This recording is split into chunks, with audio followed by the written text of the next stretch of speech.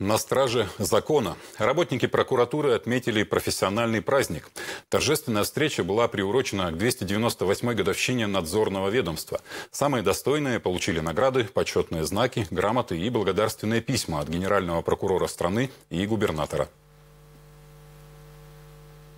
Мы с вами, наших начальников координационных органов, ищем своевременное решение по вопросам, связанным с профилактикой правонарушений, борьбе с преступностью, обеспечению безопасности на наших дорогах, контролю за наркоситуацией, ну и, конечно же, обеспечению антитеррористической защищенности нашего региона. Было выявлено свыше 29 тысяч нарушений закона.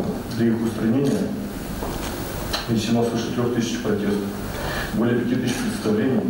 Суды направлены свыше 6 тысяч исков. Объявлено более 1 тысячи предостережений.